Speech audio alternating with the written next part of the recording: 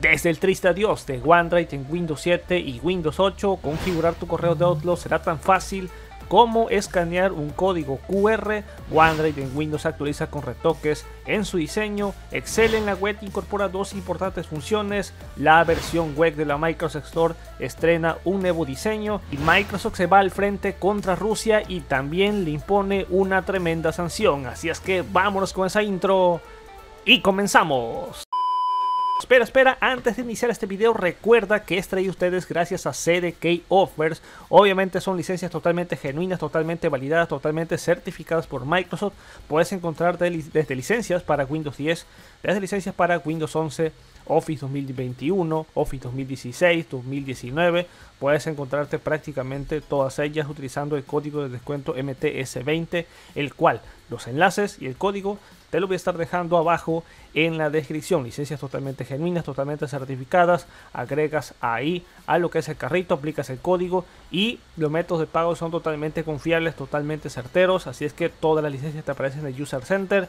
Así que ya lo sabes, sin duda licencias magníficas las encuentras en CDK Offers. Así es que dicho esto, pues vamos a comenzar. Muy buenas a todos como siempre, bienvenidos a un nuevo video de esta sección denominada como Windows News. Destacar que hay pocas noticias en torno a Windows 11, Windows 10, así es que hay más en referencia a ciertos productos de Microsoft. Vámonos ya al grano porque hay que decirle adiós a OneDrive en Windows 7 y Windows 8. Ha llegado la fecha marcada en el calendario y Microsoft pues obviamente no ha titubeado. El 1 de marzo de 2022 fue la fecha en la que OneDrive ya deja de funcionar en Windows 7 y Windows 8 y el gigante Redmond termina así la compatibilidad con estos sistemas operativos para priorizar su funcionamiento en Windows 10 y en Windows 8. Parece que Microsoft se ha cansado de ofrecer la compatibilidad limitada de su software y tal como se había anunciado, OneDrive deja de funcionar en Windows 7 y Windows 8 y también la versión 8.1.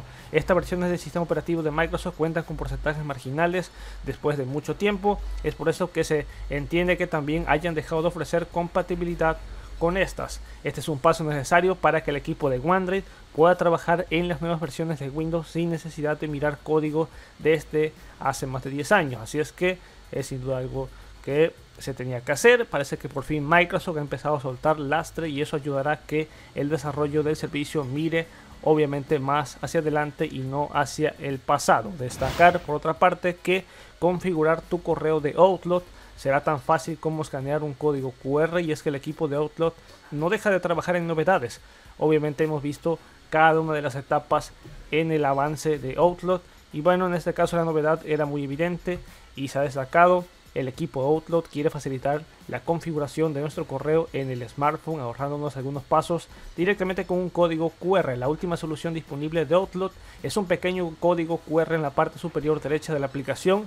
En la propia barra de título que cada vez tiene más funcionalidades encontraremos lo que es básicamente un enlace a una ventana emergente que nos mostrará el código QR al ir a configurar una cuenta de Outlook en nuestro smartphone podemos seleccionar la opción para leer un código QR y nuestro smartphone hará ya todo el trabajo. Esto facilita que muchos usuarios puedan configurar sus smartphones en cuestión de segundos a través de un código QR y acelera todo el proceso. Por desgracia esta función solo está disponible para cuentas de Microsoft 365 y cuentas de Microsoft. Sería genial que obviamente Microsoft hubiera desarrollado un código QR para las cuentas IMAP y POD que son más complicadas de configurar desde un dispositivo.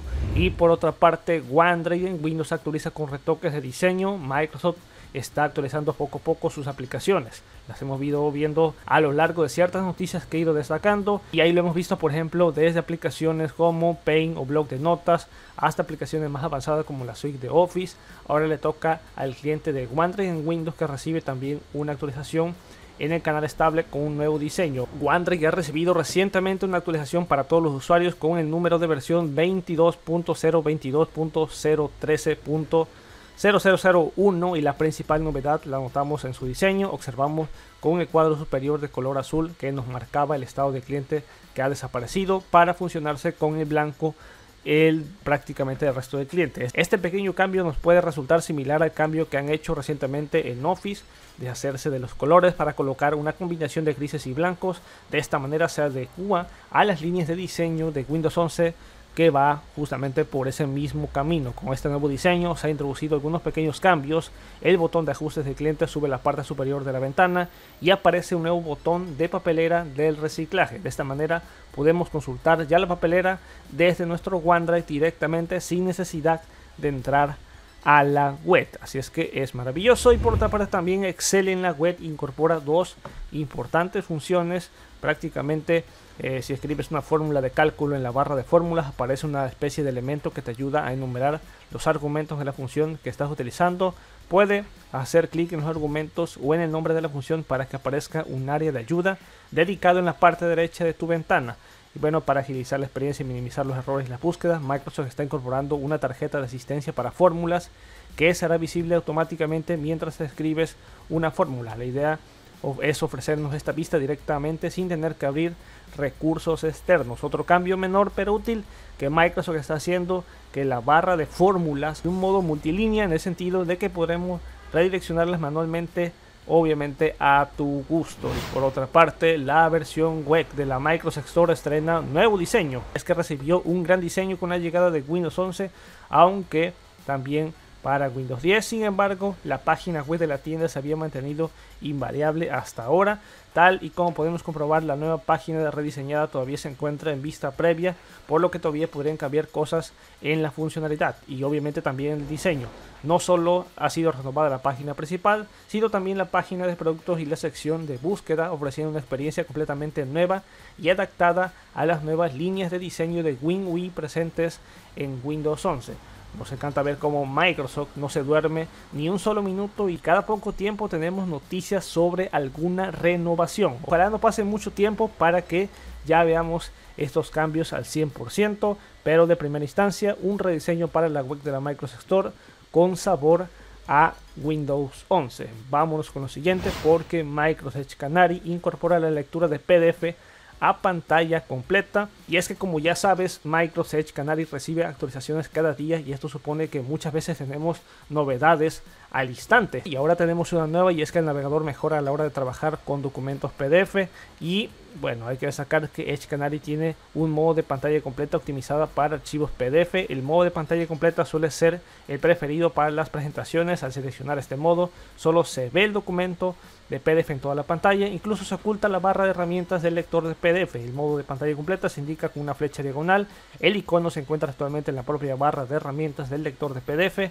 El modo de pantalla completa puede incluso mostrarse para varias páginas. Además, el modo de pantalla completa también Microsoft está probándolo con un nuevo menú que incluye opciones para ocultar las anotaciones y para ver las propiedades del documento. Y todas las características están disponibles en la última versión de Edge Canary. Como ya lo sabemos, Microsoft está ejecutando un despliegue controlado y algunos usuarios podrían recibir estas características antes que otro. Y bueno, destacar Ahí tenemos también que Microsoft detiene la venta de productos y servicios en Rusia y es que el conflicto activo entre Rusia y Ucrania está provocando que múltiples empresas de Occidente dejen de ofrecer sus servicios como parte de las sanciones propuestas tanto por Estados Unidos como la Unión Europea y ahora le toca el turno a Microsoft. Vimos, por ejemplo, que en esta semana informé acerca de Google y bueno, le tocó el turno ya a Microsoft. Emitido este viernes pasado por la mañana un comunicado en su blog afirmando que debido al conflicto entre ambos países, la empresa de Redmond dejará de realizar nuevas ventas de productos y servicios a Rusia. No han especificado si los servicios comprados con anterioridad estarán afectados o seguirán funcionando con normalidad y Microsoft no ha sido demasiado específica en el comunicado, no han informado cómo se producirá exactamente pues prácticamente estos vetos y a qué servicios de todo el abanico estarían contemplando, tampoco el cómo afectarán los servicios ya comprados o qué impactante será en cuestión financiera. Podemos deducir que a esta medida será severamente devastadora para todas las organizaciones y personas individuales que utilizan productos de Microsoft allá por Rusia. Esto afectará principalmente a Windows, a Office, a Microsoft 365, Azure o incluso Surface y Xbox allá en Rusia. También Microsoft afirma que está utilizando todos sus recursos para ayudar en la situación con Ucrania, así como ayudar a los trabajadores de Microsoft que residen en el país antes del estallido del conflicto. Está muy tremendo lo que está pasando allá en Ucrania. Y bueno, ya para rematar, destacar que nuevamente, sin duda, lo más elemental es que tengas un sistema completamente activado, totalmente genuino, totalmente validado y que más, que lo hagas directamente con una licencia totalmente certificada por Microsoft, pero de la mano de un portal que te los pueda vender, pero te los pueda ofrecer a un precio totalmente accesible y es CDK Offer que los enlaces los vas a estar encontrando ahí abajo en la descripción. Si es que es muy fácil, muy sencillo cómo poder añadir lo que es Windows 10, Office, hay por ejemplo Windows 11, añadirlo lo que es el carrito, aplicar el código de descuento exclusivo MTS20 y después de aplicar este código pues ya nos vamos a lo que son los métodos de pago que son totalmente confiables. Yo prefiero elegir PayPal y directamente al elegir lo que es el PayPal bueno, ahí realizas lo que es el pago, nos vamos al User Center porque ahí es donde nos despliega toda la información toda la información del pago, pero también la licencia. Y bueno, activar ahí, por ejemplo, un Windows 11, un Windows 10, Office 2021. Las instrucciones las tienes también en un apartado si es que no sabes, pero es completamente muy fácil. De hecho, si tienes una licencia que sea totalmente corrupta ahí en Windows 10, en Windows 11, puedes reemplazarla directamente por la que has adquirido en CDK Offer. Así es que es completamente pues sencillamente muy fácil así es que te voy a estar dejando todos los enlaces de CDK Offer en descripción para que lo puedas aplicar. Así es que nada, yo finalmente hasta aquí me despido. Nos estaremos viendo hasta la próxima. Master Tutos fuera. Peace out.